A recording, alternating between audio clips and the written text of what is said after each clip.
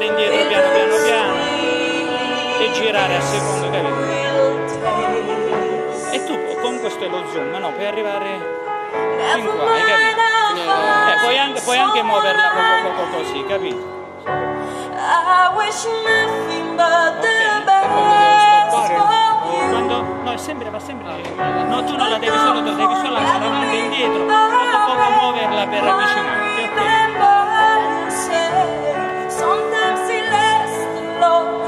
sometimes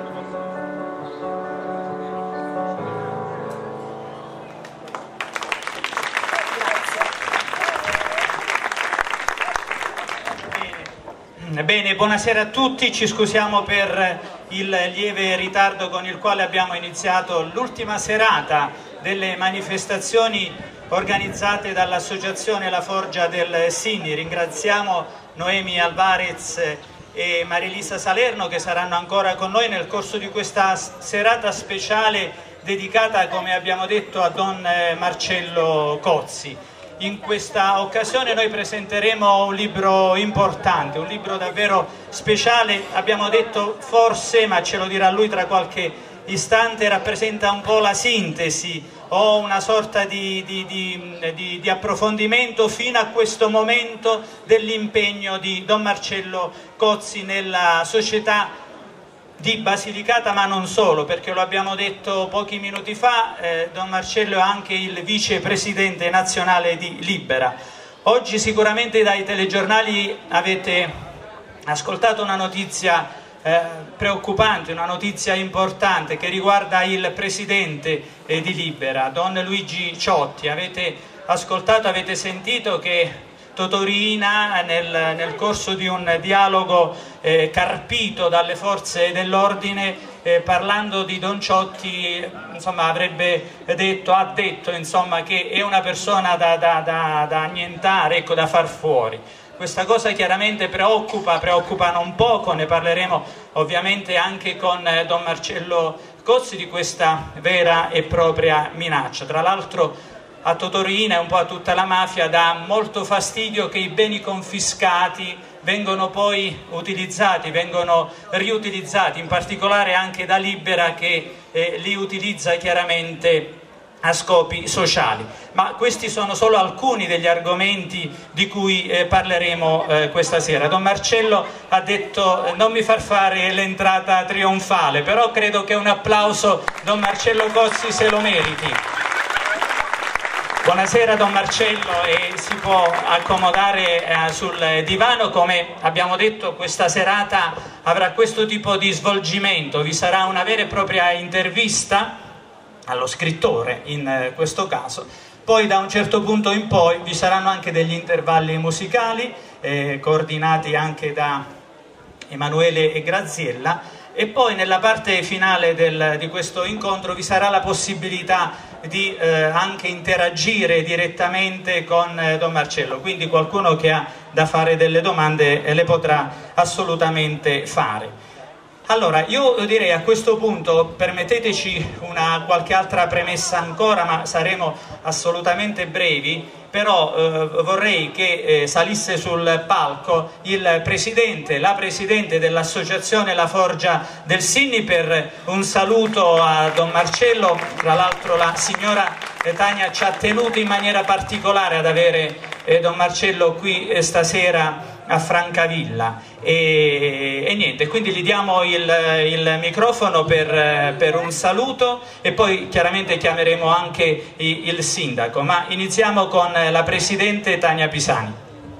Buonasera, Don Marcello, grazie, le do il benvenuto nella, nel mio paese, l'associazione eh, La Forgia del Sinni, in cui mi pregio di essere il Presidente, le dà il benvenuto. Grazie per essere qui. Noi abbiamo appena aperto i battenti e, e prima infatti le dicevo la forgia e dobbiamo modellare, dobbiamo costruire un qualcosa che c'è. Bisogna soltanto eh, trovarlo, bisogna soltanto insieme eh, trovare la forza per eh, continuare, perché solo così possiamo sconfiggere il male. Noi ehm, eh, la visita di Alatina che abbiamo fatto in 400.000 eravamo forti, ma pure a Francavilla siamo forti, in tutta la Basilicata siamo forti. L'importante è che siamo uniti, perché soltanto l'unione può sconfiggere la mafia, perché la mafia uccide, ma il silenzio pure. Quindi io la ringrazio a nome eh, della mia associazione ma soprattutto della comunità di Francavilla, perché erano tutti eh, impazienti della sua venuta qui nel nostro paese. Non potevamo eh, terminare mh, mm, il percorso che abbiamo iniziato con, questo, con questa presenza importante per me ma per tutti loro. Grazie mille. Bene, noi ringraziamo la signora Tania, eh, gli chiediamo ovviamente di rimanere eh, sul palco, noi eh, cerchiamo di accorciare questa parte, poi eh, assolutamente ci eh, dilungheremo eh, con Don Marcello. Abbiamo detto del sindaco che ci è stato particolarmente vicino, così come l'intera amministrazione comunale. Però giustamente il sindaco dice ma facciamo decollare un po' il confronto, un po' il dibattito e poi magari vengo a fare un saluto, magari anche qualche domanda, anche qualche eh, spunto eh, per Don Marcello. E noi sicuramente accettiamo questa, questa modifica eh, in corsa. Allora, buonasera Don Marcello, il microfono è vicino a lei, grazie per aver accettato questo invito. Di questa chiedeva Don Marcello ma cosa avete fatto nei giorni precedenti e in maniera assai sintetica, in maniera didascalica gli abbiamo riferito ecco, delle iniziative che ci sono state in questa sera, aggregazione, cultura, anche eh, ovviamente eh, momenti eh, di eh, spettacolo, riscoperta delle radici, se volessimo fare un titolo in un, in un, in un ipotetico giornale che magari esce eh, domani mattina e che parla delle nostre eh, attività.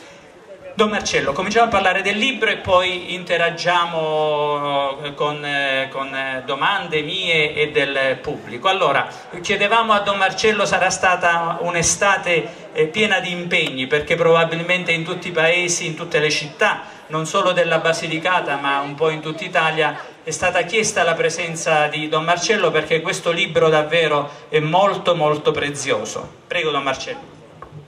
Beh, intanto grazie di questa bella accoglienza, grazie a voi per aver dato l'occasione a me di poter eh, non presentare questo libro, perché vi devo dire francamente eh, ho difficoltà a chiamarlo libro, eh, non sono uno scrittore, eh, io cerco, sono un prete, cerco di fare il prete come, come posso, insomma, con tutti i miei limiti, le mie fragilità, però ho voluto semplicemente eh, raccontare quello che eh, in questi ultimi anni è accaduto e l'ho voluto raccontare eh, senza aggiungere nulla, senza togliere nulla ai fatti, alle vicende. Ecco, mi premeva partire proprio dai fatti e dalle vicende.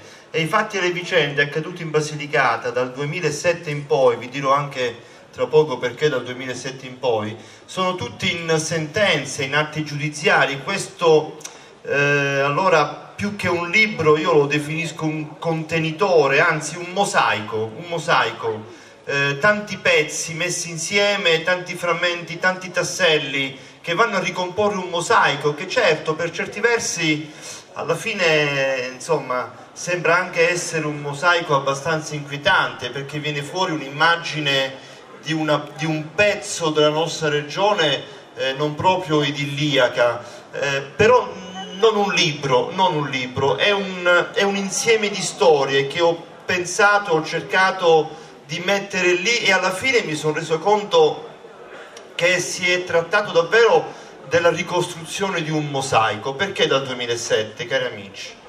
Perché penso che non solo in Basilicata, ma che penso in questo nostro paese c'è un grave rischio e il rischio è quello di perdere la memoria, o meglio ancora eh, di più, il rischio di pensare che esiste soltanto ciò che si vede, esiste soltanto ciò di cui si parla e quando non si parla più di un avvenimento, di un fatto, di una storia, allora vuol dire che quella storia è passata, vuol dire che, che ormai è andata, vuol dire che quel problema non c'è più.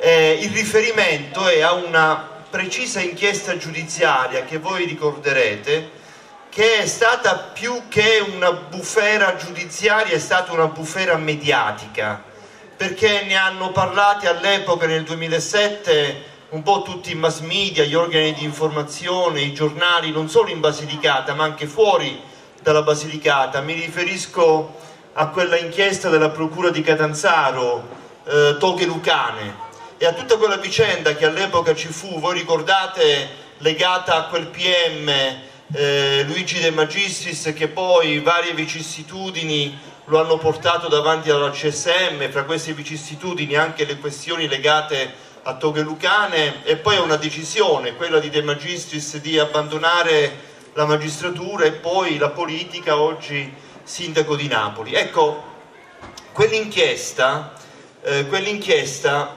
eh, è durata, le indagini De Magistris sono durate eh, 6-7 anni lui ipotizzava l'esistenza in Basilicata di un comitato di affari occulto, aveva ragione, aveva torto, adesso non è questo il problema, il problema invece era un altro ed era questa l'esigenza che mi premeva. Il problema è che dopo 6-7 anni di inchiesta e di attività di indagine De Magistris, dopo che gli erano state tolte altre due inchieste, Poseidon e Why Not, che riguardavano invece la Calabria, e dopo aver indagato in questa inchiesta Toghe Lucane eh, un livello eccellente della eh, società lucana, non malavitosi, criminali, ladri di galline, ma eh, rappresentanza di certa politica, di certo mondo dell'imprenditoria, anche della magistratura.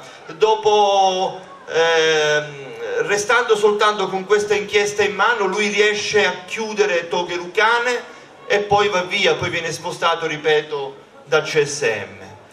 Eh, nel marzo del 2011 e poi non se ne parla più di questa inchiesta. E poi non se ne parla più. E quella bufera mediatica passa, quella bufera giudiziaria eh, chissà come è andata a finire. E quando non se ne parla più cari amici noi pensiamo beh allora è stata tutta una bufala. Se non se ne parla più vuol dire che il problema non c'era se i giornali, se le televisioni non ne parlano più vuol dire che allora tutto sommato era eh, soltanto l'invenzione di una procura e di un magistrato.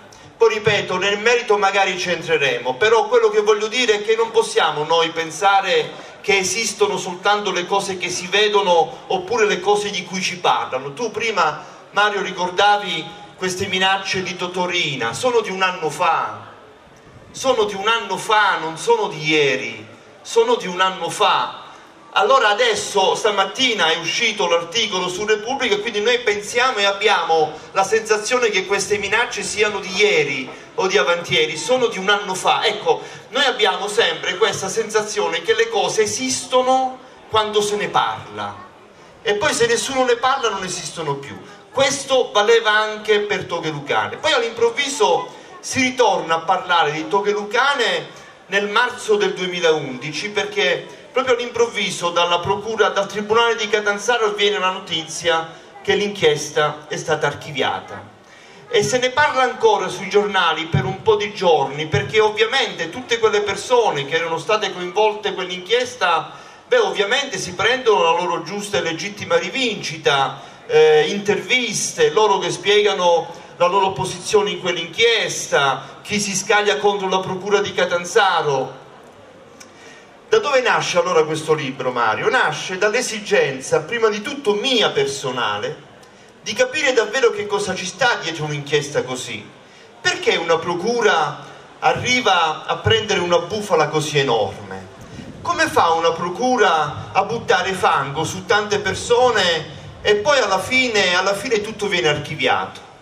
E allora bisogna andare alle fonti probabilmente. Ecco, questa forse è un'esigenza, amici noi non possiamo accontentarci dell'informazione eh, che ci danno i giornali. I giornalisti eh, sono persone che fanno il loro mestiere, che fanno il loro lavoro, loro stanno, come dicono loro, stanno sul pezzo, devono inseguire l'attualità, devono inseguire la cronaca e allora è ovvio, a lungo andare non possono più stare su quel, su quel pezzo e su quella notizia. Noi invece abbiamo il dovere, prima ancora di dividerci in fans, e prima ancora di dividerci fra innocentisti e colpevolisti, se davvero vogliamo capire che cosa sta accadendo in questa nostra regione, ma questa riflessione la potremmo fare pari pari anche in Val d'Aosta o in Emilia Romagna, se vogliamo davvero capire che cosa succede nei nostri territori, per un attimo dobbiamo discostarci dall'informazione dei quotidiani e andare direttamente alle fonti, alle fonti. E in questo caso le fonti erano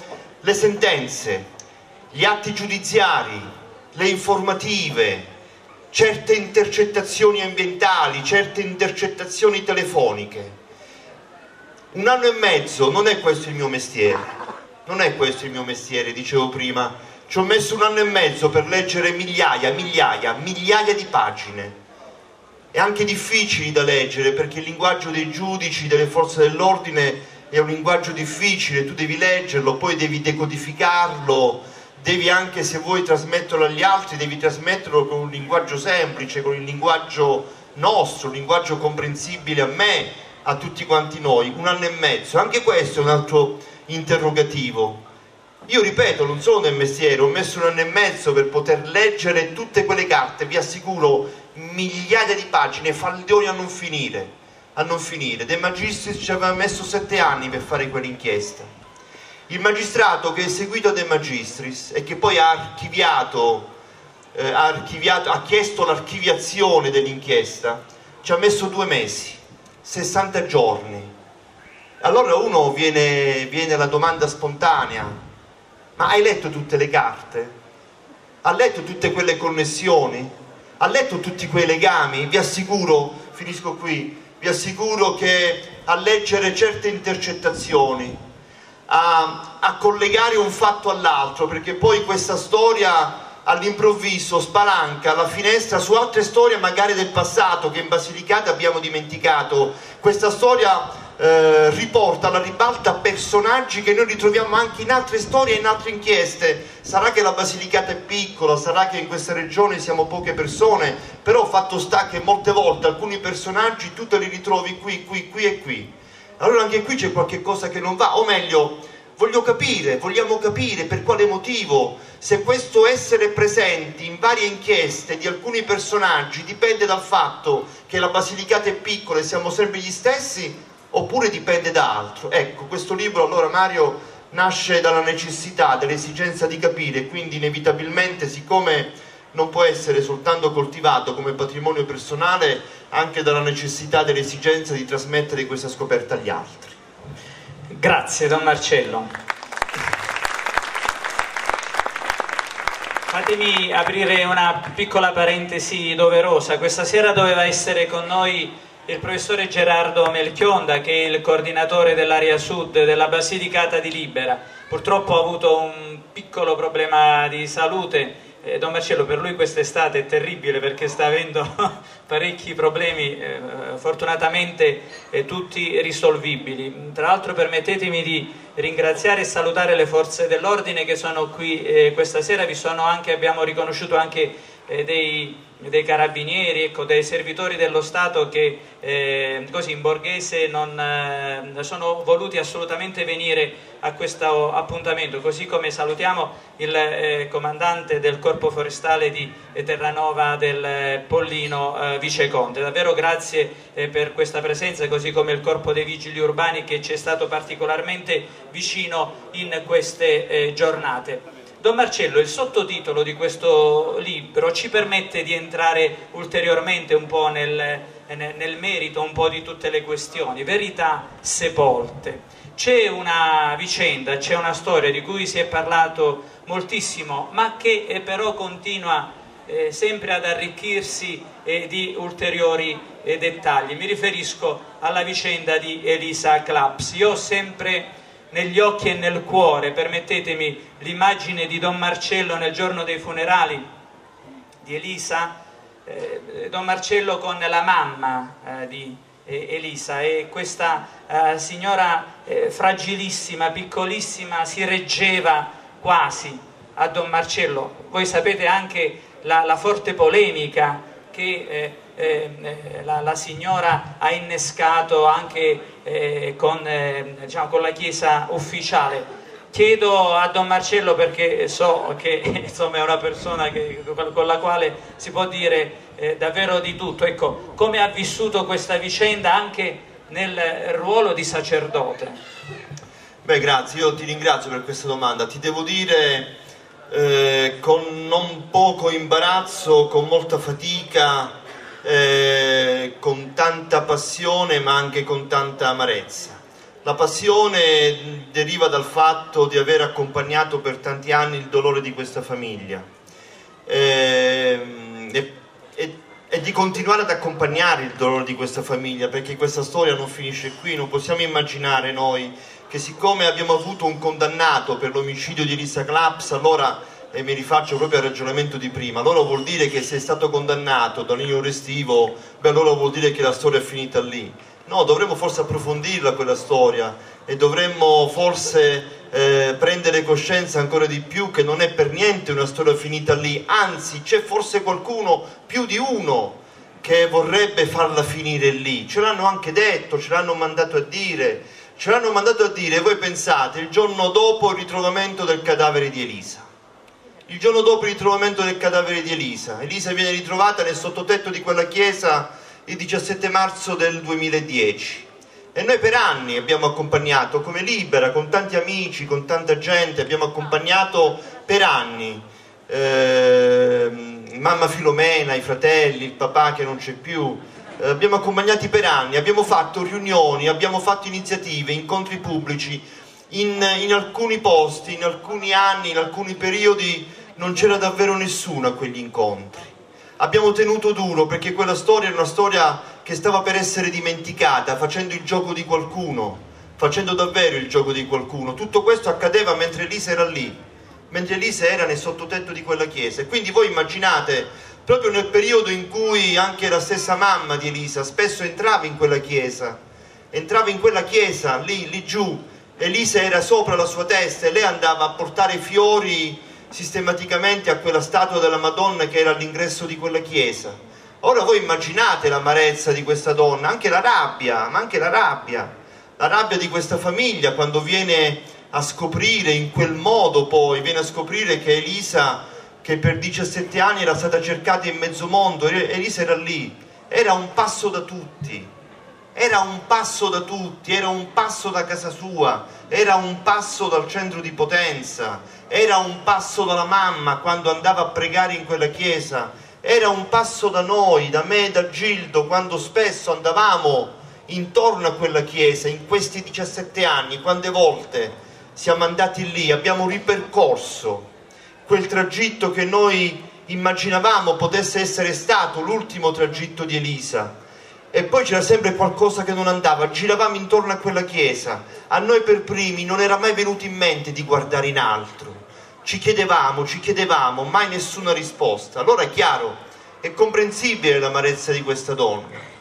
anche la rabbia di questa famiglia, quando tu scopri che questa tua figlia che te l'hanno fatta cercare in mezzo mondo, perché poi non dimentichiamo i depistaggi, non dimentichiamo che Elisa viene cercata dal giorno dopo dappertutto nel mondo, in Albania, in Brasile, persino negli Emirati Arabi, eh, quelle telefonate, gli sciacalli, alcune telefonate anonime che dicevano guarda che Elisa è stata vista imbarcarsi per gli Emirati Arabi, portata lì a prostituirsi, ma quanta rabbia in quella famiglia, ma giustamente, allora bisognava stare, bisognava stare, bisognava che qualcuno stesse vicino a quel dolore, a quella sofferenza, e se non lo fa un prete, e se non lo fa un credente, e se non lo fa uno che ha fatto dell'accompagnamento del dolore, della fatica delle persone che soffrono la ragione della propria vita, mi riferisco non solo a me, ma mi riferisco a tanti, a tanti che anche al di là della fede condividono questi percorsi. Allora chi è che lo deve fare? E allora è chiaro, da qui poi c'è non solo la passione dunque per aver accompagnato il dolore di quella famiglia, ma anche l'amarezza. L'amarezza perché se tu entri in quella storia, ma se tu entri davvero nei dettagli di quella storia e tu entri nei dettagli di quella storia non soltanto se ti limiti a leggere i quotidiani che ripeto fanno il loro lavoro, ma se tu entri nel dettaglio di quella storia, se vai a leggere per esempio eh, le indagini, gli atti investigativi, certe intercettazioni vergognose, vergognose, se entri in quella storia L'amarezza ti prende perché vedi a un certo punto che viene spontanea la domanda. La domanda è anche il dubbio sul ruolo che può aver avuto qualche prete in questa vicenda, ma non, non sull'omicidio, ci mancherebbe altro, ma sul fatto che magari qualcuno poteva sapere e magari che qualcuno poteva sapere non che Elisa era lì, No, che qualcuno magari poteva sapere quando è stata ritrovata, come è stata ritrovata, chi te l'ha fatta ritrovare. E allora perché certe contraddizioni? Sto parlando di preti. E ve lo dico, guardate questo davvero, non con il gusto di dirlo, ma con tanta fatica. Con tanta fatica, perché penso che è la stessa fatica che può fare un politico quando vede che tutto il mondo butta sempre la croce addosso alla politica, dicendo che tutta la politica è corrotta. E se tu fai politica con passione, tu batti i pugni sul tavolo perché vuoi dimostrare che ci sono anche i corrotti nella politica, che ci sono anche i delinquenti, ci sono anche i furfanti, ma certo, non ci mancherebbe altro, ma ci stanno anche tanti che lo fanno con passione, lo fanno con dedizione, con disponibilità, questo vale anche per la magistratura, vale anche per il giornalismo, vale anche per la Chiesa se permettete vale anche per la Chiesa, perché ci sono tanti preti, tanti, tanti, anche in silenzio, senza riflettori, che fanno un lavoro eh, bellissimo tutti i giorni nelle periferie urbane di quelle città, di quei contesti così degradati e difficili. E poi ci sono però anche nella Chiesa alcuni preti che dovrebbero forse essere un po' più coerenti con il proprio credo, con la propria scelta, con il proprio servizio. Beh, nella storia di Elisa questo forse non è sempre accaduto.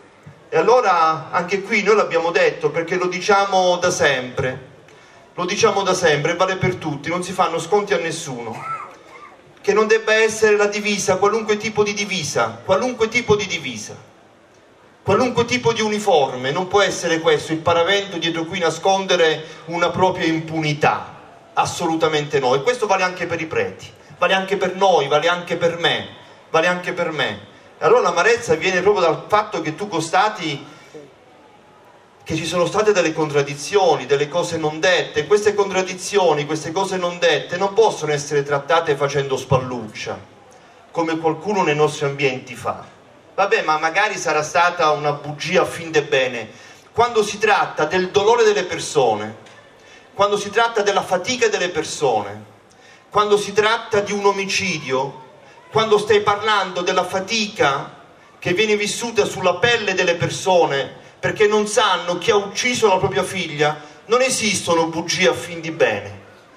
Bisogna fare una scelta di campo, bisogna capire da che parte vuoi stare, se vuoi stare da questa parte o da quell'altra parte. Da quell'altra parte significa stare dalla parte di chi ha manovrato in questi anni, di chi ha depistato, di chi ha deviato, e non solo per coprire l'assassino, ma anche per coprire chi ha coperto l'assassino e poi per coprire chi ha coperto chi ha coperto, vent'anni di catene di tantissime coperture.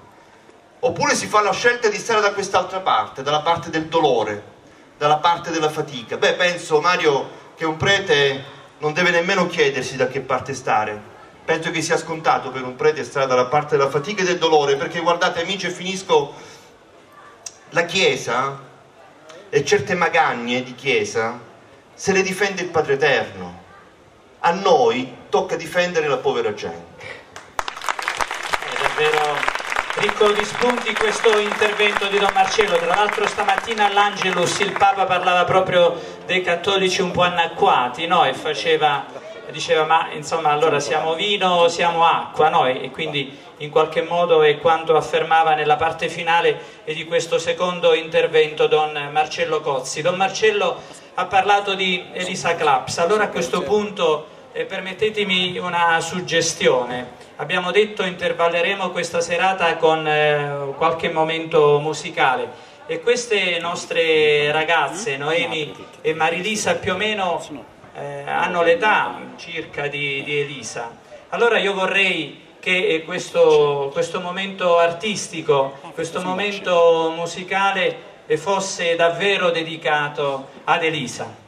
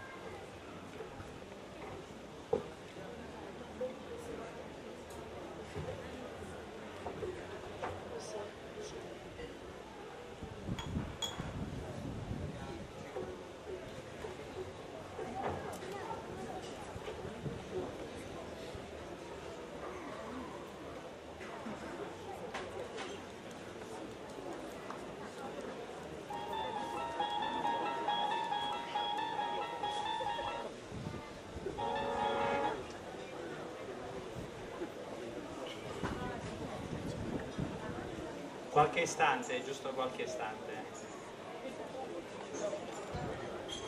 Succede eh, dappertutto. Tra l'altro io mi voglio complimentare con eh, la cittadinanza di Francavilla perché ci sono veramente tante persone, un pubblico attentissimo. Voi vedete noi, noi vediamo voi e davvero si nota un'attenzione eh, davvero particolare. Forse siamo pronti adesso?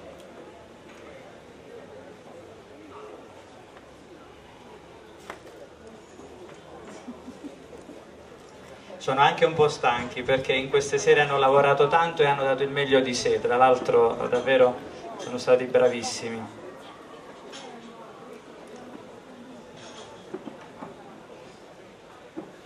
Ecco, ora ci dovremmo essere, se no magari andiamo avanti e voi no.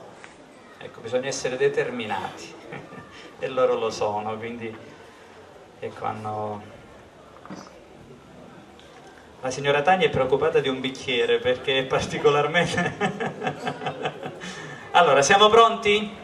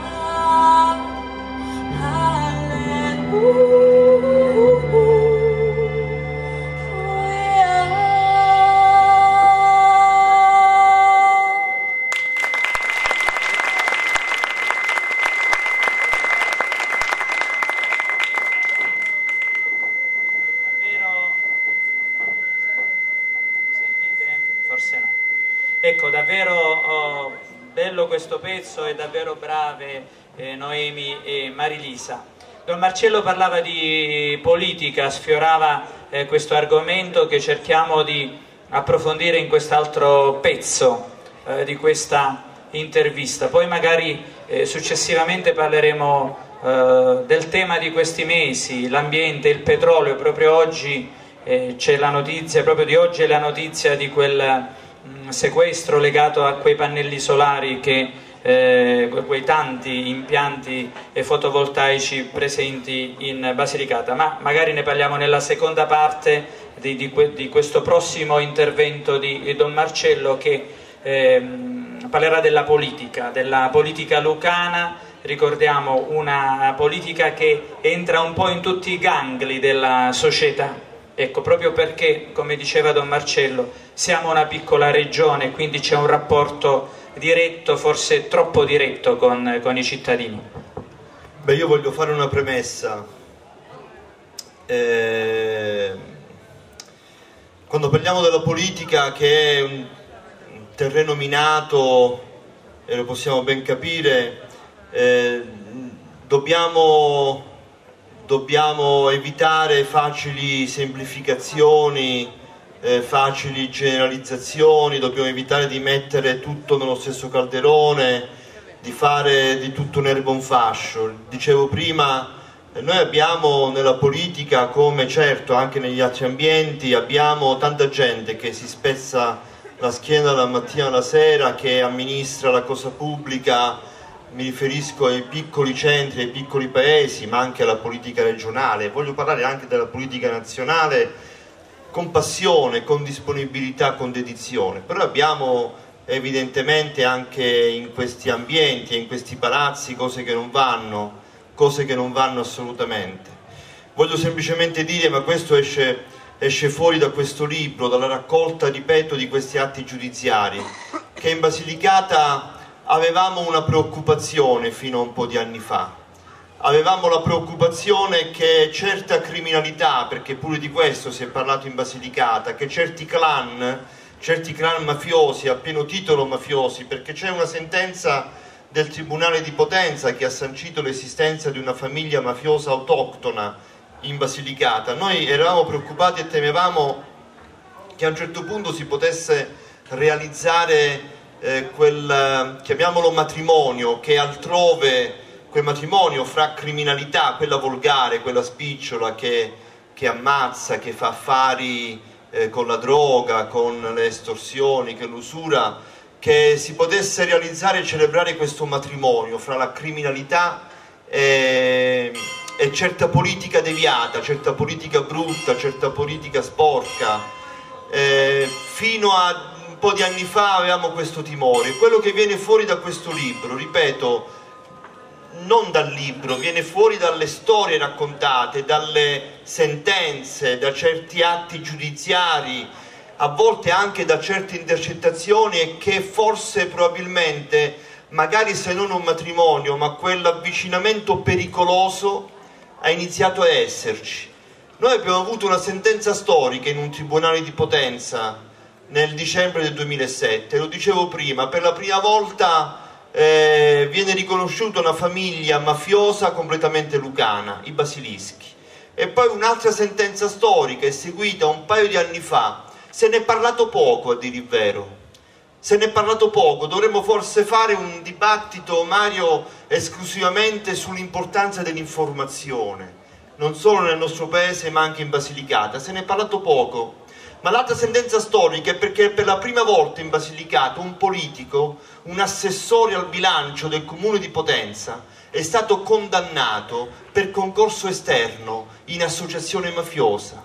E allora quello che prima era per noi una preoccupazione, beh, incomincia a essere più che una preoccupazione. E se andiamo a leggere gli atti di alcune inchieste, tu qualcosa l'hai citata prima, eh, Mario, se andiamo a leggere gli atti di qualche inchiesta, come per esempio Total Gate, ma anche come la stessa vicenda dei basilischi, oppure se vogliamo parlare della Crociopoli Lucana, oggi qui voi avete avuto il derby con il Potenza, ma sappiamo benissimo che se il Potenza è arrivato in Serie D dopo anni di inferno perché era stato radiato e perché a Potenza un po' di anni fa, è una storia anche questa che conoscete, un rampante imprenditore che era a capo di quella squadra di calcio, che era in C1, panorama nazionale, beh, aveva avuto la, la, la bellissima idea, la brillante idea di poter fare soldi anche in altro modo, di poter vendere e comprare le partite. Questo è quello che ipotizza la procura di Potenza. E quelle intercettazioni parlano di eh, chiacchierate davvero eh, inquietanti, se mi permettete anche a volte squallide, nello studio di un commercialista dove si incontrava questo presidente dell'allora squadra del Potenza Calcio con l'allora boss dei Basilischi Antonio Cossidente, con quel commercialista e con un politico. E con quel politico il boss dei Basilischi Cossidente si incontrava anche altrove. Avevano tante cose in cantiere, avevano in cantiere non solo le sale delle slot machine. E in un'intercettazione ambientale il presidente dice ma sì, a questi dobbiamo spellarli come polli, come polli. E poi invece hanno in cantiere anche un altro affare, quello di dover costruire il nuovo stadio a Potenza, perché la squadra era in C1, bisognava portarla in Serie B, sarebbero entrati soldi e poi arrivano a Potenza per poter definire l'affare degli avvocati inglesi che però avevano gli uffici in Campania e tu ti chiedi cosa ci sta dietro. Fortunatamente all'epoca qualcuno fermò il tutto e poi arrivò la magistratura. Erano coinvolti anche lì alcuni pezzi di politica. Poi magari capita, e voglio dire soltanto questo parlando della politica, capita che anche questa inchiesta poi passa in secondo piano, nessuno più ne parla nessuno più ne parla perché noi sappiamo, ripeto, scusatemi se insisto su questo, eh, ne parliamo soltanto quando vediamo che fanno le retate polizia e carabinieri, ne parliamo quando, ripeto, ne parlano i giornali. Poi invece abbiamo dimenticato come è finita quell'inchiesta, ma l'hanno dimenticato, volutamente dimenticato, anche le persone coinvolte in quell'inchiesta perché qualcuno di quei signori ultimamente si è presentato in campagna elettorale e nei volantini no, pubblicitari della propria campagna elettorale diceva ne sono uscito pulito. È un'enorme bugia. È una bugia che trova terreno fertile nel fatto che noi nella vita pensiamo ad altro, giustamente non pensiamo ad approfondire le inchieste, le sentenze. Nella vita noi di questi ultimi tempi stiamo cercando di capire come arrivare alla fine del mese. Stiamo cercando di capire se avranno un futuro i nostri figli. E allora anche su questo loro fanno presa. Ne sono uscito pulito. Mi potete votare. No, qualcuno bisogna che qualcuno ricordi a quel signore, ma lo ricorda, lo sa benissimo, che in questo momento lui è stato rinviato a giudizio ed è alla sbarra al Tribunale di Potenza. A meno che lui non intenda per pulito, lui come altri, e fra questi altri anche un politico, questo signore non è uscito, non è stato votato, ma quel politico è un politico di lunga carriera, a meno che loro non pensino che, perché questo è quello che forse in questo nostro paese sta venendo fuori in questi ultimi anni, a meno che lui non pensa che si è, eh, si è eh, sporchi da un punto di vista giudiziario soltanto se tu sei indagato per mafia se invece non sei accusato di mafia o non sei indagato per mafia, tutto sommato sei pulito, perché tanto ci possiamo permettere tutto quello che vogliamo, perché quei signori alla fine non sono stati rinviati a giudizio per associazione mafiosa e hanno tirato un sospiro di sollievo, certo. Però devono anche ricordarsi che sono stati rinviati a giudizio per frode sportiva e truffa, associazione a delinquere finalizzata alla frode sportiva e alla truffa e dovranno rispondere di questa accusa. Allora tu non puoi dire che sei uscito pulito. Ma questa riflessione ci porta però nel panorama nazionale, dove noi immaginiamo nel panorama nazionale un bel po' di politici che, siccome non sono indagati per mafia, pensano tutto sommato di essere puliti. Beh, sarebbe bello fare un elenco di quelli che attualmente siedono in Parlamento, ma non solo in Parlamento, anche in vari palazzi regionali, e che hanno un po' di inchieste in corso e che frequentano qualche volta durante la settimana le aule dei tribunali, bisogna ricordare che non si è puliti soltanto perché tu non sei indagato per mafia. Ecco, allora forse è di questo tipo di politica che noi ci preoccupiamo, perché sporca l'immagine di chi invece quella politica la vuole fare bene, la vuole fare con passione, la vuole fare dando la vita e ne sono tanti e giustamente quei politici bravi, onesti, si arrabbiano quando vedono che si fa di tutto un'erba un fascio, si arrabbiano, ma giustamente. Beh, Total Gate, anche Total Gate non è un'inchiesta finita così, non è finita così Total Gate. Voi sapete l'inchiesta quella sul petrolio, non era la prima volta, il vero, che la procura di Potenza indagava sull'affare petrolio in Basilicata. La prima volta fu nel 2002. Titolare di quell'inchiesta fu quell'altro magistrato che è stato deriso, è stato, eh, di cui si è detto peste e corne, eh, John Henry Woodcock, poi trasferito al tribunale, alla procura di Napoli. Beh, nel 2002 quell'inchiesta come è andata a finire? Noi diciamo, beh, siccome nessuno è andato in carcere, erano tutti innocenti, hanno sbagliato i magistrati. No, bisogna ricordare alla nostra stessa memoria che invece di quell'inchiesta alcuni imprenditori hanno scelto il rito abbreviato. Significa che hanno patteggiato.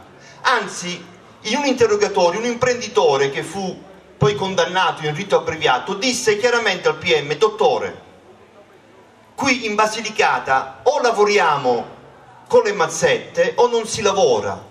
Tutto sommato in Sicilia fanno così. La parte politica coinvolta in quell'inchiesta fu assolta. E allora qui anche c'è qualcosa che non va, perché noi pensiamo che quando c'è una corruzione in atto ci devono essere almeno due sponde. Se c'è una domanda c'è un'offerta. E invece no, viene condannata soltanto una sponda e l'altra e i soldi a chi sono stati dati? Beh, Total Gate, dobbiamo ricordare che in Total Gate è in corso, sono stati rinviati a giudizio, la parte politica, uno in particolare, io non faccio nomi perché non mi va, perché, non perché uno non vuole fare nomi, sono tutti scritti nel libro, tutti, perché non sono nomi che mi invento, sono agli atti, ci sono delle inchieste, quindi poi ripeto, sono in tribunale, eh, evidentemente è il tribunale l'unico luogo che può che può sentenziare in un senso o nell'altro, però il politico coinvolto ha cercato anche lui il rito abbreviato. Le cose a dire il vero si stanno mettendo un po' male per lui, perché ultimamente il giudice ha chiesto nuove fonti probatorie.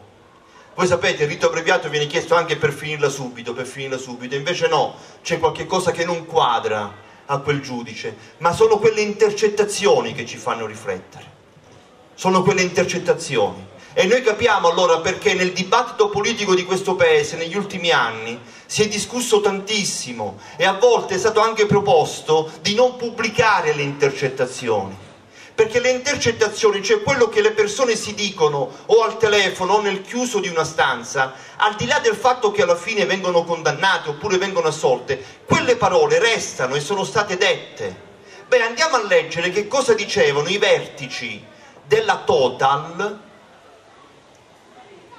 vertici francesi, quando chiusi in quella stanza, nell'ufficio della Total, nella centrale via Pretoria di Potenza, dicono l'un l'altro, ci sono anche altri impiegati amministrativi, guarda che la lettera D la devi spostare da quella busta e metterla su quella perché deve vincere l'amico nostro. E allora a me non interessa se alla fine questi verranno condannati o meno. È compito della, della procura è compito della, della, della giustizia. A noi interessa fare una valutazione etica, ma a noi soprattutto interessa non essere presi per il naso, non essere presi in giro. A noi interessa che questi signori non vengano qui a pensare di fare di questa meravigliosa terra il mercato di conquista dei loro affari, perché quello che viene fuori da quelle intercettazioni, che loro pensano di essere venuti qui quasi a incontrarsi con persone che hanno l'anello al naso. Bene. Poteri invisibili è un libro davvero importante, tra l'altro lo ridiciamo all'inizio della piazza vi è un tavolino dove eh, si, possono, eh, si, può acquistare appunto il libro, tra l'altro eh, anche eh, mi permetterà eh, Don Marcello di citare l'editore Melampo che è una, è una, prestigiosa società editrice nazionale così come è importante la prefazione di Carlo Lucarelli per intenderci quello di Blue Notte ed è molto bello quello che eh, Carlo Lucarelli ha scritto di questo libro, tre righe che sono illuminanti. Eh, io che sono del mestiere, dice Lucarelli, l'ho letto con un brivido, anzi due. Il brivido appassionato del lettore di gialli e quello spaventato del cittadino con la sua coscienza civile. Don Marcello, continuiamo in questo percorso che stiamo svolgendo qui eh, questa sera. Vi è un altro aspetto importante, mi verrebbe da dire quasi un aspetto sentimentale, un aspetto eh, romantico. Io credo che l'associazione libera tra le, i tanti meriti che ha, eh, ne ha uno in particolare, quello di non dimenticare e di stare vicino a quelle persone, a quelle famiglie che hanno avuto eh, una perdita e che una serie di circostanze, il tempo, l'oblio, forse anche perché erano storie un po' particolari, erano anche storie un po' eh, complesse, eh, queste famiglie, queste persone vengono quasi un po' messe da parte. E vi è Libera e vi è Don Marcello Cozzi che costantemente fa sentire il proprio calore a queste eh, persone vi sono eh, delle famiglie anche qui vicino, anche qui vicino a Francavilla, che in questi anni hanno avuto la possibilità di, di conoscere con la sensibilità dell'associazione, in particolare la sensibilità di Don Marcello. Mi riferisco alle sparizioni della cosiddetta maestrina di Lago Negro, di Nicola Bevilacqua di Lauria, di Ottavia di Montemurro e quanti altri eh, quante altre persone, perché poi il, il, la, la, questione di fondo qual è? Eh, Basilicata isola felice, però evidentemente da quello che dice Don Marcello con, con atti, quindi con, non con chiacchiere, non è, non è un romanzo, è un, è un, libro fatto di, di dati, di elementi eh, evidenti, appunto eh, così, queste, queste, situazioni succedono in eh, Basilicata. Io vorrei che Don Marcello trattasse questo argomento, che penso sia un argomento davvero forte, davvero delicato. Beh sì, guarda, è l'argomento centrale, se permetti. Noi non siamo nessuno. Io sono davvero nessuno. E se a volte alziamo la voce e se certe cose le diciamo con rabbia e facciamo anche, no, facciamo vedere questa rabbia, lo facciamo per chi ormai ha perso la voce, lo facciamo cercando con tutti i nostri limiti, le nostre fragilità di dare voce a chi è senza voce, ma soprattutto di dare visibilità a chi da troppo tempo, da tanto tempo sta cercando verità e giustizia nelle proprie storie, non ha più lacrime, non ha più lacrime da piangere perché ormai, ormai nessuno più gli dà retta, eppure nessuno è mai andato a bussare a quelle porte per restituire un pezzo di verità e uno straccio di giustizia.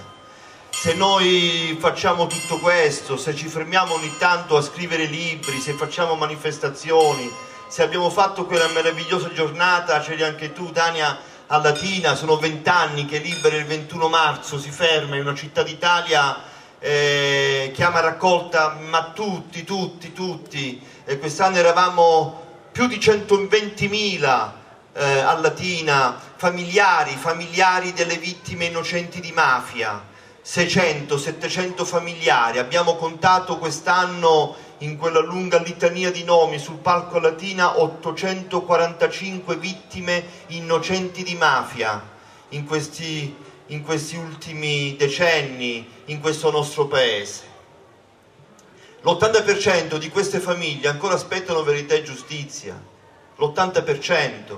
Basta questo per dire che tu non puoi fermarti, basta questo per dire che se hai un po' di coscienza, al di là del fatto che sei un prete, basta un po' di coscienza per dire ma io devo continuare a combattere per loro, io devo prestare la mia voce a loro, io devo prestare i muscoli del mio cuore a loro, perché magari a loro è, a loro è giustificato se qualche volta si fermano, si, si arrendono, si stancano, poi riprendono a camminare, a noi non può essere.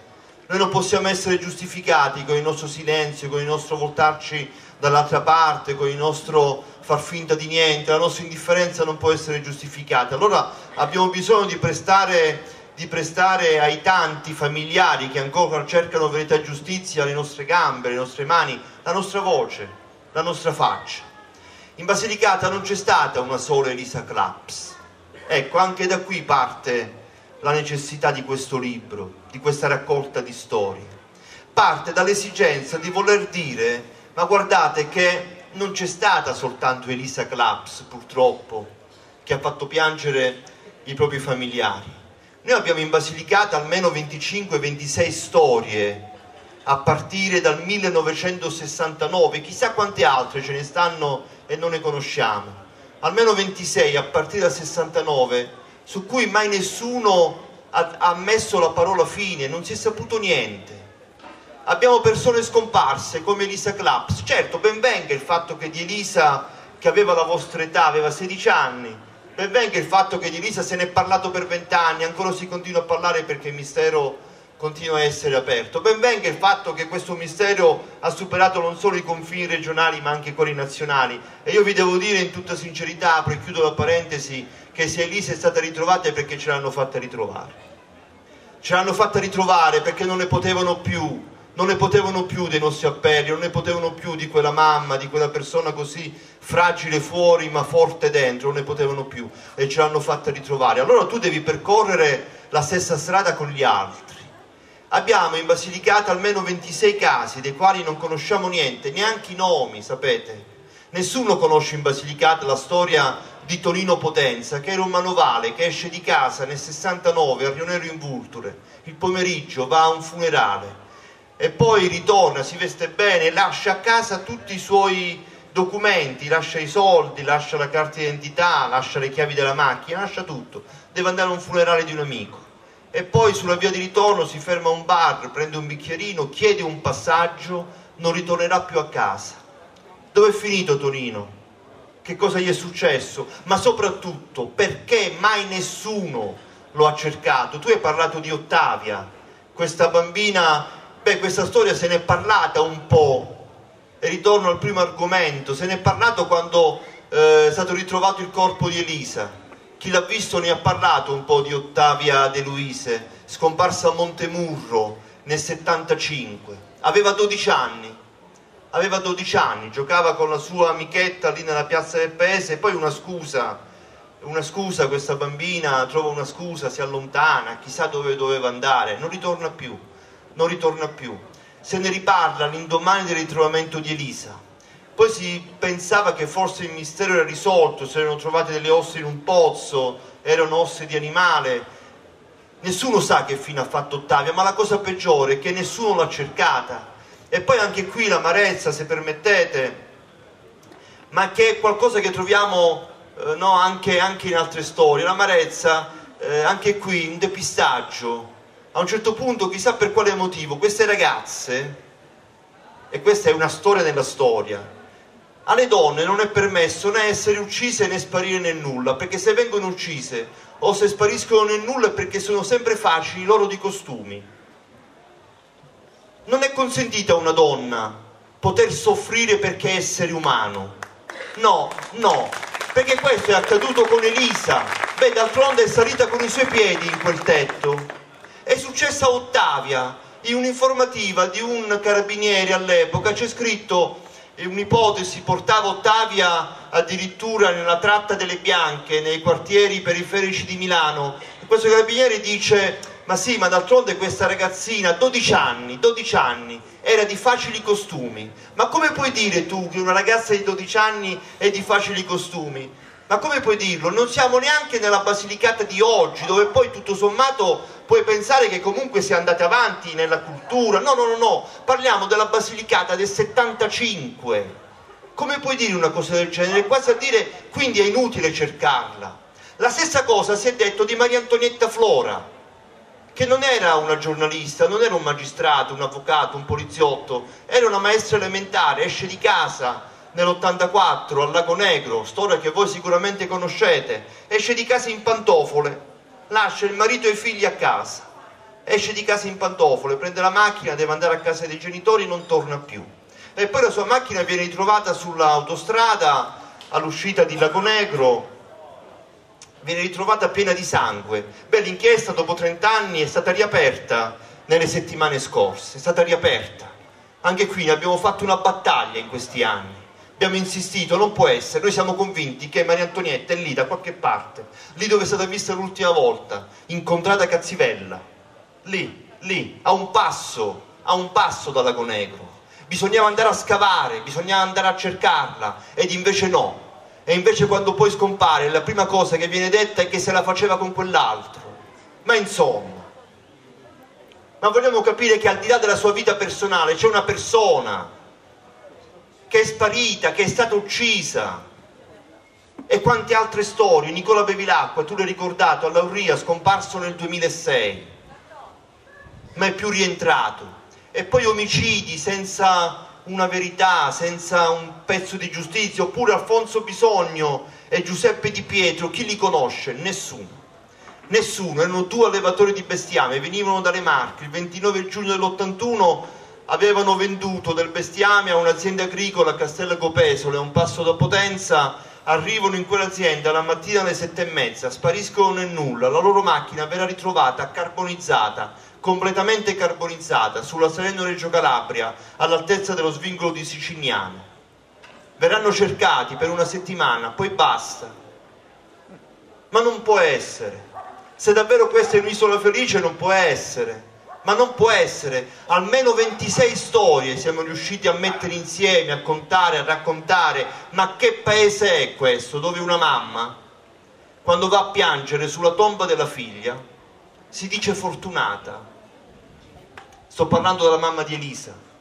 Si dice fortunata perché dice io almeno so che qui c'è mia figlia. Ma non può essere, non è un paese normale ma non può essere, non è un paese normale, è contro natura il fatto stesso che una mamma va a piangere sulla tomba della figlia, intanto. Figuriamoci se non è contro natura il fatto che una mamma che va a piangere sulla tomba della figlia dice io sono fortunata. Ma che paese è questo che invece un papà non può nemmeno vivere con dignità, in nascondimento, nel silenzio il proprio dolore perché gli hanno ammazzato il figlio? Sto parlando dei due famosi, perché così sono riconoscibili, fidanzati di Policono, Luca e Marirosa. Quel papà ci morirà di crepacuore nel cercare la verità sull'omicidio del figlio, Luca, che vengono ritrovati insieme a Marirosa nel bagno di casa di lei il 23 marzo dell'88. È lui che si mette a indagare, è lui che scopre alcune cose, una storia che ha cinque archiviazioni, l'ultima dell'anno scorso e l'ultima archiviazione e incidente sono stati avvelenati da una fuoriuscita di monossido di carbonio dalla caldaia che era nel bagno. Per carità, qui nessuno va cercando l'assassino a tutti i costi, però purché le archiviazioni risolvono i casi, quando un'archiviazione alimenta il mistero, ci lascia un grande punto interrogativo. Quella caldaia da cui sarebbe uscito il monossido di carbonio era perfettamente funzionante lo dicono gli atti, lo dicono gli stessi periti. Era perfettamente funzionante fino a un attimo prima ed è stata perfettamente funzionante per sette anni dopo la morte di Luca e Marirosa. Cioè quella caldaia non, non ha funzionato giusto quel quarto d'ora in cui loro sono morti. E allora voi non potete dire semplicemente sono morti per avvelenamento l'accettiamo, però ci dovete spiegare anche quell'altro mistero, così come tanti altri misteri legati a quella vicenda, così come quella telefonata di un nome di una donna che qualche mese dopo eh, il ritrovamento dei cadaveri di Luca e Marirosa si dicono al telefono, un'intercettazione che ho riportato testualmente, si dicono al telefono, sono legati quest'uomo e la donna a altri due familiari loro che sono legati alla vicenda ma come dopo mezz'ora di telefonata, se voi leggete quella intercettazione, c'è la trascrizione, la leggete concentrati, vi rendete conto che lui va di fretta, si, si sente, cioè si, si, legge, va di fretta perché lo aspettano un matrimonio, va di fretta, la donna incalza, incalza, parlano di varie cose, rapporti fra di loro, a un certo punto la donna dice, ma tu sai chi c'era quella sera a casa? La sera in cui sono morti Luca e Marirosa. Lui si ferma, chi c'era? Ma come? Conosci Claudio Lovecchio? E chi è? Qualcuno di mafioso. Claudio Lovecchio era un giovane, aveva problemi di droga, eh, sparirà nel nulla, Lupara Bianca, apparteneva al clan degli Scarcia, nella zona del Metapontino, non verrà più ritrovato. Ucciso probabilmente per legato, perché è legato a vicende di droga. Ma al di là di questo, perché tu devi tirare in ballo Claudio Lovecchio, qualcuno di mafioso? La telefonata finisce lì perché il ragazzo dice no aspetta un attimo, chiudiamo, ti vengo a trovare a casa. Dopo mezz'ora di telefonata, lì troncano la telefonata. Ora anche qui non è che qualcuno cerca necessariamente il mafioso, ma ci mancherebbe altro, che c'entra la mafia con Luca e Marirosa? E magari quella donna si era anche inventata questa storia, ma qualcuno in 26 anni, ma in 26 anni qualcuno si è preso la briga di chiamare questa persona e di dire scusa, visto che lo stavano intercettando, ma perché hai detto quelle cose? Nessuno mai gli ha fatto questa domanda. E allora no. Allora è chiaro che il papà di Luca si mette a indagare. Per questo dico, ma è un paese normale, quello in cui un genitore non può neanche vivere il lutto della morte di un proprio figlio, no, si mette a fare lui l'investigatore. Non è un paese normale, così come non è un paese normale quello in cui un genitore va al cimitero a piangere il proprio figlio che gli hanno ammazzato e sulla lapide c'è la data di nascita ma non c'è la data di morte. Mario Milioni a Policoro, anche lui da giovane aveva avuto problemi di droga, poi una famiglia, un figlio, forse voleva uscirne, forse ancora non era uscito, fatto sta che quella sera, ottobre del 2006, prende la macchina di un amico e quella macchina con lui dentro verrà trovata carbonizzata nella pineta di Ginosa Marina. Le indagini verranno fatte dalla Procura di Taranto i resti di Mario sono in quella macchina carbonizzati, era stato ucciso, non si capisce se viene ucciso prima dell'incendio oppure se l'incendio a uccidere Mario, fatto sta che viene ucciso. Archiviata quella storia. E qui due cose ci fanno arrabbiare, se permettete, perché di questo si tratta. Due cose. Primo, mai nessuno ancora ad oggi ha avvisato ufficialmente il papà, perché la mamma non c'è più, di Mario che le indagini sono state archiviate. Perché non deve mai capitare a nessuno, ma se casomai capita a qualcuno di andare in procura a fare una qualunque denuncia, ricordatevi sempre alla fine di far scrivere voglio essere avvisato in caso di archiviazioni, altrimenti nessuno vi avvisa. Ma stiamo parlando di un omicidio però, parliamo di un omicidio, ancora nessuno ha avvisato ufficialmente il papà di Mario. La seconda cosa è peggiore, nessuno mai ha detto al papà di Mario quando è morto, qual è la data certa della morte del figlio. Qual è la data certa? E allora su quella lapide voi trovate la data di nascita, ma non la data di morte. È un paese normale? Assolutamente no. Allora, abbiamo oltrepassato un'ora di conversazione davvero straordinaria, davvero ricca di contenuti. Allora io direi di procedere in questo modo, eh, chiederei alle ragazze un altro pezzo, poi eh, avviserei il sindaco se eh, gentilmente ehm, così ci viene a fare un saluto, magari anche a dare qualche spunto poi se qualche persona dal pubblico eh, vuole dire qualcosa si può un attimo prenotare, eh, se no eh, andiamo verso le conclusioni, quindi diciamo da qui a una ventina di minuti così avvisiamo le persone che sono presenti, concludiamo la serata. Vi chiediamo però di non andare via perché vi sarà una piccola sorpresa assolutamente composta, ma una piccola sorpresa per l'associazione e anche per Don Marcello che sicuramente gradirà spazio ai nostri artisti.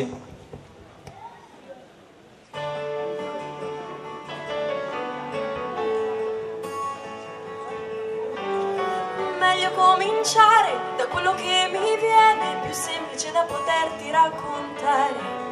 La vita ci consegna le chiavi di una porta e prati verdi sopra i quali camminare. Puoi correre o fermarti, puoi scegliere tra i frutti quali cogliere o lasciare maturare. Vietato abbandonare il sogno di volare, ma per quello c'è bisogno dell'amore.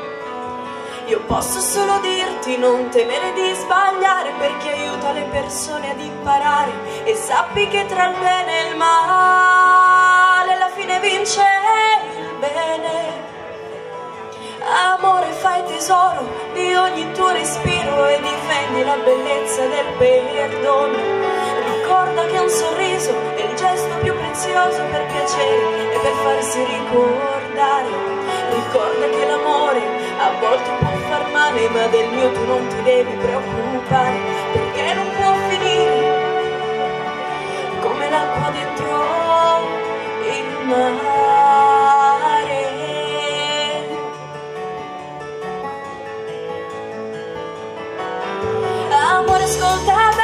Non smettere di sognare, perché i sogni sono le ali per volare.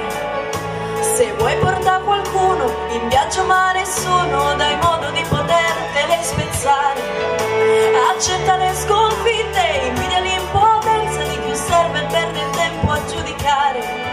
E abbi sempre la coscienza, la pazienza, la prudenza e ricordati che è sempre meglio dare. Ma non dimenticare,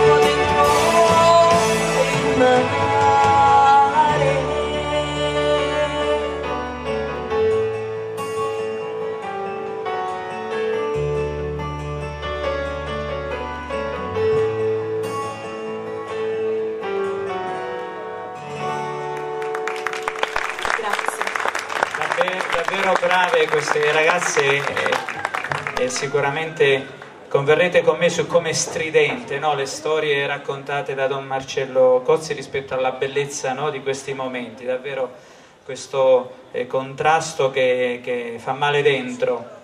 Sindaco Cupparo, con eh, piacere eh, abbiamo, eh, così, abbiamo la, la possibilità di, di ascoltarla e ehm, siamo davvero onorati di questa presenza. Il sindaco è stato presente anche in, in occasione del premio Il Passatore e ci ha incoraggiato ad andare avanti. Sindaco, una riflessione su Don Marcello e sul suo libro. Intanto buonasera a tutti ringrazio sempre l'associazione per quello che ha fatto e eh, non c'era conclusione migliore. Io eh, ho ascoltato Don Marcello attentamente perché il libro non l'ho letto, l'ho comprato poco fa, quindi non l'ho letto.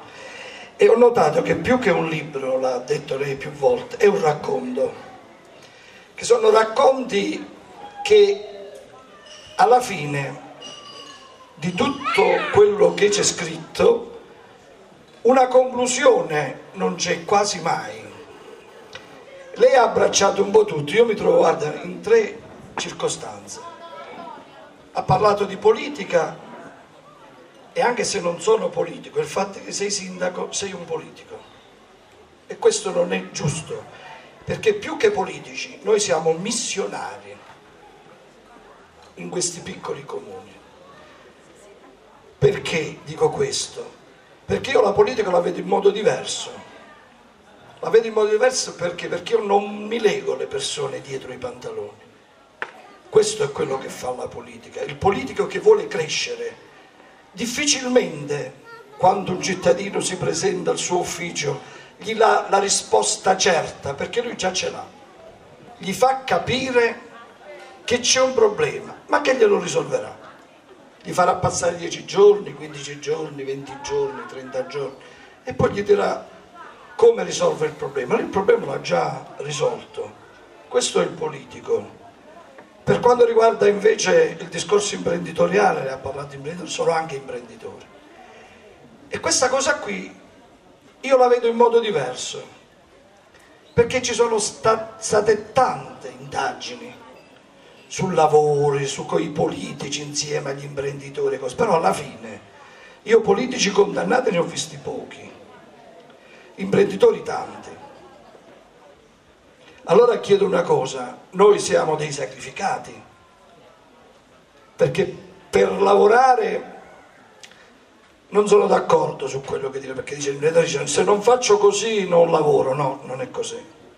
Se sei serio lavori e lavori sempre e dappertutto. Io sono un imprenditore che lavoro a Palermo, lavoro a Gioia Tauro, lavoro nel Veneto, lavoro a Francavilla, io non ho mai avuto problemi, mai, lo, glielo direi stasera, mai, mai avuto problemi. E l'ultimo è il calcio. Noi però lo abbiamo condannato. Gli abbiamo detto che tu non puoi essere più un tesserato. Perché io sono anche consigliere federale. Quindi noi l'abbiamo condannato. Lui non può entrare in uno spogliatoio di calcio. Quindi vuol dire che la magistratura deve fare il suo corso, perché non è semplice. È vero dire questa sera, dice sai, è scomparso, non l'hanno più ritrovata eh, sai, i magistrati io penso che ce la mettono tutta, ma non è facile. Quindi in una regione, io sono soltanto, stasera me ne vado un po' preoccupato e agitato per quello che ha detto, per quello che, che già conoscevo, no? Però non è possibile, io la difendo sempre la mia regione, una regione così piccola non può avere tanti, tanti problemi. Perché ho notato tanti piccoli particolari, no? Succede una cosa, come ha detto lei, ah, eh, la colpa è del politico. Poi però il politico, caso vuole, dopo un anno, cioè no, non c'entra, esce fuori dalla cosa e restano gli imprenditori. Poi alla fine man mano esce prima uno, poi ne esce altro, e poi si ferma, si placa, il discorso non si fa più, non si parla più. Poi ogni tanto succede una disgrazia, ritorniamo un'altra volta a ricordarci di tutte le disgrazie che succedono in Basilicata. Però diciamolo anche, diciamolo anche un'altra cosa, che noi siamo un popolo buono, ospitale e anche lavoratore. Non è che poi questa Basilicata la dobbiamo svendere a tutti i costi, dobbiamo, ci dobbiamo far parlare addosso da tutti. Io dico che ognuno di noi deve fare il proprio dovere e cominciamo a partire dal cittadino, deve fare il proprio dovere smettiamolo di guardare sempre il nostro gradino e guardiamo anche il gradino di chi ci sta di fronte, perché molta gente, io parlo della Basilicata ma in Italia, che viene carpita dalla mafia, che viene carpita dalla delinquenza, è gente che ha il bisogno. E che purtroppo il bisogno gli fa commettere tante cose. E poi dopo che ha risolto i problemi viene ricattato. E quindi è più facile creare il problema che lei ci ha raccontato.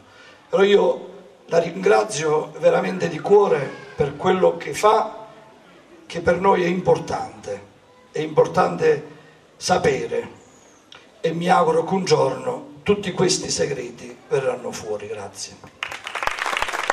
Bene, noi ringraziamo il sindaco di Francavilla Cupparo, tra l'altro e magari poi ci rivediamo alla fine della, della serata. Tra l'altro lui aveva due possibilità, di fare un intervento così molto generico, insomma, invece ha fatto l'altra la, scelta di, di, di, entrare anche un po' nel merito, di dire anche delle cose che probabilmente eh, Don Marcello condivide al 90%, all'80% e al 70%. Sarebbe stato utile, Sindaco, se lei avesse eh, accettato l'invito all'inizio perché un, eh, sarebbe un bel dialogo tra, il, tra Franco Cupparo e Don eh, Marcello eh, Cozzi a livello di, di, stimoli, anche di esperienze, perché io notavo no, due, due, esperienze diverse che in qualche misura no, entravano forse in alcuni eh, ambiti anche un po' in contrasto e, e questo è importante e bello.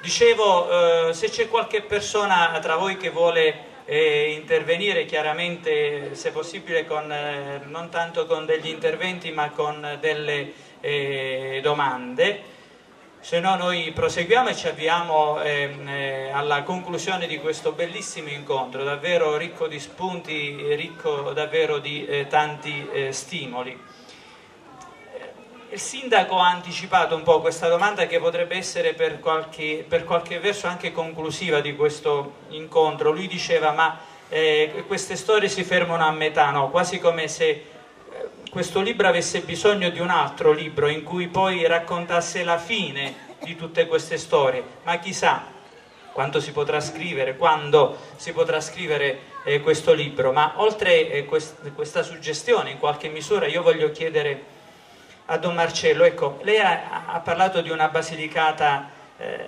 negativa, diceva il sindaco, no, sono preoccupato alla fine di questa serata, ma sappiamo che Don Marcello per contratto, e chiaramente lo dico tra virgolette, è, è uomo della speranza, no? E, il suo contratto con, con, con, il suo principale, che poi anche il nostro, eh, prevede proprio la speranza come, come, come, come sintesi finale di ogni cosa. Allora io chiedo a Don Marcello e, chiedo a lui chiaramente anche un po' di, di cucire il finale ecco, di, questa, eh, di, questo incontro eh, straordinario. Allora, eh, eh qual è eh, la morale di questo libro e se questo libro, eh, pur se negativo, negativo come storie che racconta, può dare una speranza a chi lo legge? È scritto esclusivamente per questo motivo. Io ringrazio il sindaco per quello che ha detto, eh, è assolutamente vero quello che diceva lui, il, il, la, la, gente di Basilicata è gente meravigliosa, ma questa terra è terra meravigliosa, sai, andando spesso in giro per l'Italia come te, eh, mi viene difficile dire che la Calabria è terra di mafia, mi viene difficile dire che la Sicilia è terra di mafia Certo, lì ci sono problemi di non poco conto, ci sono delinquenti criminali che tengono in ostaggio, in ostaggio da un bel pezzo quelle terre meravigliose, ma anche quella gente che è laboriosa, che è piena di passione, che ci tiene tanto alla propria terra. Poche persone, sono poche persone, ma noi sappiamo benissimo che queste poche persone però fanno in modo che poi nel dire comune si affermi che quella è terra di mafia. E ora si ha sempre l'impressione, ogni volta tu racconti storie di questo tipo, alla fine si ha l'impressione, ma allora la Basilicata è terra di mafia è terra di malaffare? Assolutamente no, ma ripeto, la stessa cosa la direi e lo diciamo sempre, sia in Calabria che in Campania, che in Campania, in Sicilia, in Puglia, assolutamente. La premessa di questo libro... Eh, la premessa, io non lo, non lo sapevo perché, ripeto, non sono lo scrittore, ma le premesse si fanno alla fine, dopo che tu hai scritto tutto, scrivi la premessa che è un po' come la presentazione. E alla fine, dopo aver messo insieme tutte queste inchieste, dopo aver raccontato queste storie non con parole mie, ma con le parole di chi ci ha lavorato, io dico sempre che il libro non l'ho scritto io, l'hanno scritto eh, le forze dell'ordine, l'hanno scritto i giudici, l'hanno scritto i magistrati, l'abbiamo scritto insieme. Beh, alla fine viene fuori un quadro che certo è preoccupante, però è un quadro che ci permette di dire che la Basilicata non è terra di mafia, lo dico proprio in premessa, ma ci permette anche di dire che la Basilicata però non è un'isola felice, è né più né meno un pezzo d'Italia. È questo nostro paese che è meraviglioso. Noi ci arrabbiamo se andiamo fuori dai confini nazionali e ci dicono per il fatto stesso di essere italiani che siamo mafiosi. Ma questo accade e voi lo sapete benissimo. Proviamo ad andare fuori dai confini nazionali. Appena diciamo ma tu da dove vieni? Dall'Italia? Ah ma la mafia. Ci dà fastidio che fuori possano identificare l'Italia con la mafia ci dà fastidio che possano identificare la Basilicata con il malaffare, ma questo è un limite che noi incontriamo dappertutto in questo nostro paese. Dovunque andiamo c'è questo limite, si pensa sempre che la propria terra sia l'ombelico del malaffare nazionale. No, ognuno nella propria terra ha seri problemi, ci sono tante cose belle, tante, tante, tante, ma ci sono anche dei problemi, inevitabile raccontarli inevitabile raccontarli. Ecco, C'è un grave problema che abbiamo in Italia in questo momento da un po' di tempo, a dire il vero. Ci stanno rubando il significato profondo delle parole. Vado alla conclusione, Marco. Il significato profondo delle parole ci stanno fregando, amici. Voi pensate la parola legalità. La parola legalità non vuol dire più niente. Noi stiamo facendo di tutto in questi ultimi anni per non parlare più di legalità, non ce la facciamo più. Siamo stanchi a parlare di legalità perché la legalità ormai è un termine sulla bocca di tutti, assolutamente di tutti, ed è soprattutto sulla bocca di quelli che la calpestano tutti i giorni. E poi anche perché in questi ultimi vent'anni, in questo nostro paese, la legalità è diventato davvero un concetto molto relativo.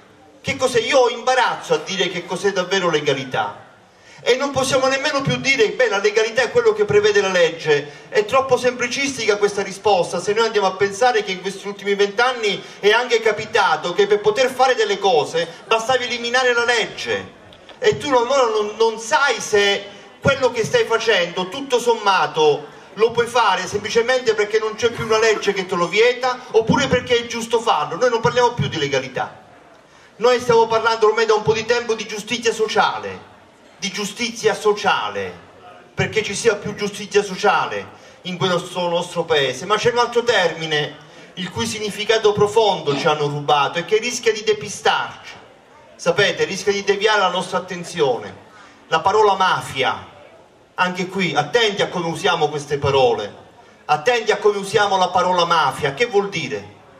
Attenti perché noi spesso diciamo davanti a un qualunque atto, anche che ne so, di di, di, di, uno scontrino che non viene messo da un esercizio commerciale. Diciamo, eh vabbè, ma qui è tutta mafia. Attenti, attenti a vedere dappertutto la mafia. La mafia è una cosa seria, è una cosa che ammazza, che fa soffrire un sacco di persone. La mafia, quella criminale che uccide, e poi c'è quell'altra mafia, quella che ha permesso a Provenzano, a Totorina di governare in questo nostro paese per 50 anni, di essere latitanti per 43 anni Totò Rina e Bernardo Provenzano, latitanti, fin quanto qualcuno ha deciso di arrestarli. Ma noi non staremmo qui a parlare di quattro viddane di Corleone, perché di questo si tratta.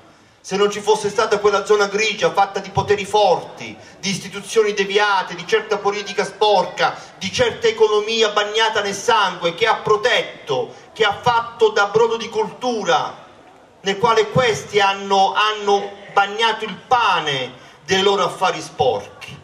Noi saremmo qui oggi a parlare semplicemente di quattro gangster che si uccidono fra di loro ed invece se siamo ancora qui a sentire intercettazioni di quel signore in quel carcere che sa benissimo di essere ascoltato, perché questa è un'altra storia che dovranno raccontarci, sa benissimo di essere ascoltato a chi sta mandando questi messaggi a chi sta parlando? Chi è che in questo nostro paese, in certi palazzi, sta recependo il messaggio di Totò Riina? Allora attendi a parlare di mafia, attendi a parlare di mafia soltanto quando ammazzano carabinieri, magistrati, attendi a, a parlare di mafia soltanto quando si ammazzano fra di loro. Attenti, ci hanno rubato il significato delle parole perché vogliono deviare la nostra attenzione le nostre intelligenze, ma anche una parola che purtroppo in questi tempi è molto di moda, anche il suo significato, un significato che se non andiamo a cercare nella profondità dell'etimologia rischia di depistarci, la parola crisi. Crisi. La parola crisi è una parola che in questi ultimi tempi ci porta alla rassegnazione, alla disperazione, ci porta a rinchiuderci, ci porta a stare nelle nostre nicchie perché abbiamo paura di esporci. E invece, se andiamo a recuperare il significato profondo della parola crisi, è esattamente il contrario, perché voi mi insegnate. Crisi dal greco vuol dire scelta importante, svolta decisiva. Allora questo è il tempo delle scelte importanti. Non è il tempo di rinchiudersi nelle nostre nicchie perché abbiamo paura del futuro. Questo è il tempo di decisioni importanti, di svolte storiche. Non è il tempo dell'individualismo esasperato. A volte il significato delle parole rischia di fregarci perché ci devia. E così tutta questa riflessione per arrivare al significato della parola speranza. Della parola speranza. Attenti anche, noi stiamo attenti alle frasi fatte. Certo, bisogna portare speranza. Cosa vuol dire portare speranza nella famiglia di Elisa Claps? Cosa vuol dire portare speranza nella famiglia di Maria Antonietta Flora? Che cosa vuol dire portare speranza nelle famiglie di quegli 845 vittime innocenti di mafia? L'80% di loro, ripeto, ancora non hanno una verità e una giustizia. Significa camminare accanto a loro. Perché speranza, voi mi insegnate, viene dal greco ed è la stessa radice di piede. Piede. La speranza si costruisce si costruisce insieme, non è una frase con cui noi ci riempiamo la bocca, ma sì, bisogna essere speranzosi, no, la speranza la si costruisce insieme e la si costruisce percorrendo strade, quelle strade di dolore, della ricerca della verità, della ricerca di giustizia, denunciare con franchezza, dire chiaramente le cose come stanno, stare dalla parte degli ultimi, stare dalla parte di quelli che ancora non sanno la verità e di quelli che ancora in silenzio piangono perché nessuna giustizia gli è stata data, la speranza è questa, è camminare accanto a loro e costruire insieme questi percorsi. Per noi la speranza è anche raccontare le cose come sono andate, anche se a volte questo ti porta amarezza, ma la speranza è questa, la speranza non è facciamo finta di niente e vogliamoci bene, no, la speranza è guardiamoci in faccia, guardiamo la realtà, la realtà è questa, noi non ci rassegniamo, non ci fermiamo, ci rimbocchiamo le maniche vogliamo camminare perché speranza viene dal greco, la stessa radice di piede. Bene, Francavilla questa sera ha avuto un grande privilegio, ha avuto la possibilità di dialogare e di confrontarsi con il vicepresidente nazionale eh, di Libera, Don Marcello Cozzi. Abbiamo presentato questo libro che è ancora possibile acquistare poteri invisibili. Ora eh, fermi tutti perché eh, con sobrietà, con eh, compostezza dobbiamo eh, chiudere al meglio ecco, queste giornate nelle quali si è parlato di cultura, si è, si è stati insieme, si sono riscoperte eh, radici eh, comuni. Allora seguite questo, questo piccolo percorso nel percorso di questa sera. Partiamo dal, da un eh, piccolissimo riconoscimento che l'associazione La Forgia del Sinni vuole fare a Don Marcello eh, Cozzi. Eh, la Presidente Tania Pisani offre il premio Il Passatore, voi sapete questo premio si è svolto due sere fa, facciamo, facciamo una premiazione post manifestazione ufficiale ma è davvero molto sentita. Diciamo a Don Marcello che questo premio è dedicato ad una persona eh, normale, che non c'è più zio Pietro il passatore che in epoca antica permetteva di eh, far sì che persone, merci e, quant'altro potesse andare da una parte all'altra del Signi e quindi chiaramente questo lavoro è assai suggestivo, assai evocativo e noi l'abbiamo scelto un po' come simbolo eh, di questo nostro impegno culturale. Pregherei poi, facendo anche probabilmente lieve, un lieve cambiamento di programma, di, di portare qui la torta che è stata preparata dalle straordinarie socie dell'associazione, una torta dedicata a Libera perché vi è, una, vi è un logo particolare dedicata a questa associazione la torta sta per arrivare, vi garantisco, e così come vi garantisco che ce n'è per tutti, quindi se magari prima di andare a cenare volete così predisporvi ad una buona cena, magari con un pezzettino di torta, davvero eh, eh, lo potete fare. Giusto qualche istante, ecco, sta arrivando dalle, da, da, da, dalla strada laterale qui della, della villa e quindi chiederei alla signora Antonella e alla signora Emilia di salire sul palco perché ci sono più luci quindi la si può anche vedere meglio e quindi si possono anche fare le foto diciamo con più luminosità. Chiamerei il sindaco perché è importante che possa esserci anche lui in questo momento particolare assolutamente sobrio eh, composto ma eh, che ci tenevamo che si eh, svolgesse. Sulla torta vi è il simbolo di Libera e vi è una dedica a Don Marcello Cozzi. Stiamo facendo tutto in diretta, stiamo mettendo la tovaglia, magari Emilia se la puoi mettere più al centro, la, la, puoi mettere più al centro il tavolo perfetto, così ecco la torta molto bella, e, facciamo avvicinare Don Marcello il sindaco per eh, il coltello c'è? Non c'è? C'è, arriva e dopodiché eh, chiaramente eh, scenderemo così, qui in platea e, e, potremo dare un pezzettino beneaugurante ecco, un po' eh, a tutti. Allora, questa è la torta e eh, chiediamo a, a, Don Marcello e al sindaco simbolicamente eh, tagliano la torta, ecco qui, eh, signora, signora vi perdete questo momento, avete fatto migliaia di fotografie, allora, eh, allora, attenzione, rifacciamo, rifacciamo questo momento perché va assolutamente eh, preservato, no? diceva Don Marcello Libera, lavora anche sulla memoria, in qualche misura stiamo facendo questo in, eh, in, questi momenti. Ecco. Allora, io direi che non abbiamo dimenticato nulla se non una bottiglia di spumante che il sindaco apre eh, simbolicamente per tutti, perché eh, da questa iniziativa che abbiamo sviluppato in questi giorni possono venire fuori tante altre belle idee. Ma la serata di eh, questa sera è dedicata in particolare a Don Marcello. Ci sentiamo davvero di, di dedicare lo sforzo di oggi, ma lo sforzo, ecco, facciamo un applauso di questi giorni a persone davvero speciali come eh, Don Marcello, che non è socio della Forgia del Sinni, ma è come se lo fosse, quindi in qualche misura lo ricorderemo e sarà in qualche modo sempre vicino a noi nelle iniziative future, anche perché magari scriverà un altro libro o comunque parteciperà a qualche conferenza e sicuramente lo inviteremo. Chiedo ad Emanuele magari se possibile Graziella una base musicale eh, che possa in qualche misura allietare ulteriormente questa serata.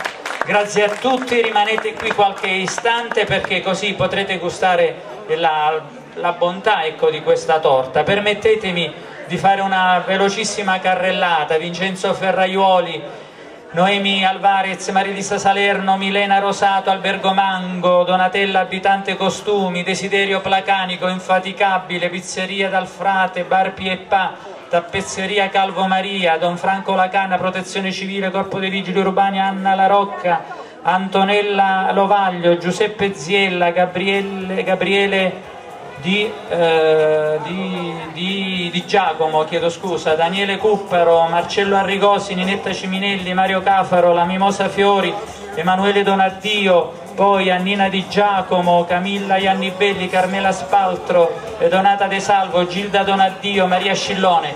Queste e tante altre persone, tutti i componenti dell'associazione che non citiamo, hanno dato vita ad una bella manifestazione. Grazie a tutti e ora io direi se scendiamo con il tavolo perché mo le persone aspettano quindi non le possiamo deludere.